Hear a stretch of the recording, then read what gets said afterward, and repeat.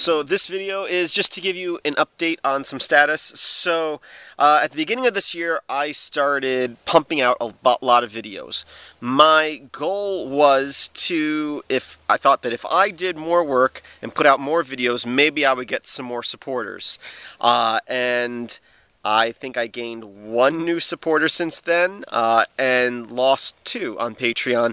In fact, uh, my my uh, income from Patreon has pretty much been cut in half.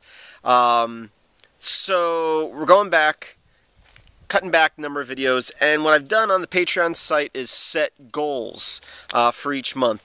And basically, I have a $100 goal, a $200 goal, and a $300 goal, uh, and maybe even more after that, but we're not even close to that. Um, so basically, uh, if we hit the $100 goal, I'm going to do a minimum of four videos a month. That's one each week.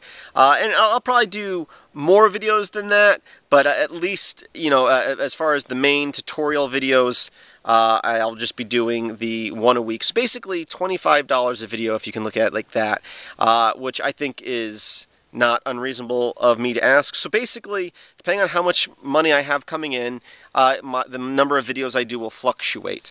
Uh, so I'm hoping that this, again, will get me some more supporters out there. I do have lots of viewers. I understand not everyone can support. If you can't support, I do appreciate uh, likes and shares and comments. Supposedly those things help uh, with uh, ad revenue, which uh, I also make a little bit of money with that. Um, but basically, uh, yeah, uh, I need to justify my time putting into these videos, and I do enjoy making videos, but at the same time it takes a lot of work. So just want to let everyone know where we're at. I will still be making videos regularly, uh, but the number's going to be cutting back big time compared to the last couple months. And uh, where I'm at right now, I'll probably be doing three videos a month.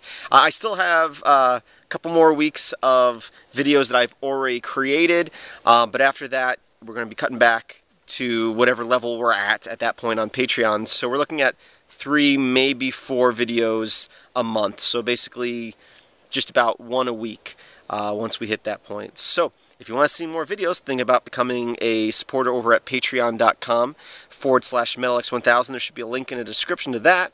I thank my current Patreon supporters. And again, uh, um, if you can't support me, that's fine. Not everyone can.